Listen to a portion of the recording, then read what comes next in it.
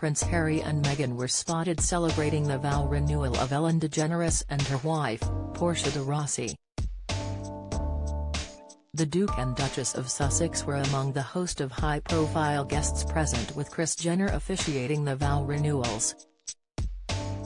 The couple have stayed out of the public eye since their last public appearance in New York for the Ripple of Hope Awards in December.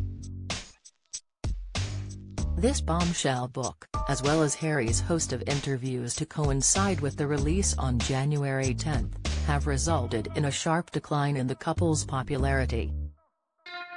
A poll, conducted by Newsweek, showed the couple's popularity had dropped by 45 points in America, which is where Meghan and Harry currently reside with their two children. Ellen and Portia are among the couple's famous neighbors. Follow below for the latest royal updates. 58 minutes ago 09:03 Lauren Welch Prince Andrew told not to unravel settlement and rather search for meaningful existence Prince Andrew has previously faced calls to confirm how much the multi-million pound out-of-court settlement mounted to, which was earlier reported to be as much as £12 million. Prince Andrew has been told to search for a more meaningful existence by a legal expert after reports suggest the Duke could attempt to unravel his settlement with Virginia Giuffre. The advice comes amid his extraordinary bid to clear his name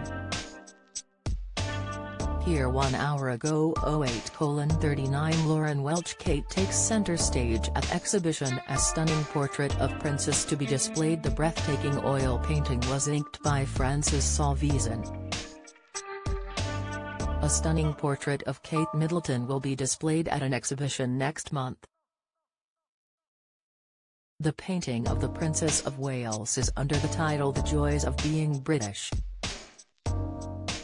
The art gallery announced the news on its website and wrote, fresh from completing his commission of His Majesty Sultan Ibrahim of Johor and painting Her Royal Highness the Princess of Wales, this exhibition of the paintings of British artist Francis Salveson includes many of our British traditions, animals and birds, landscapes and seascapes, dance and sport, here two hours ago 08 colon 29 Lauren Welch Good morning good morning from London.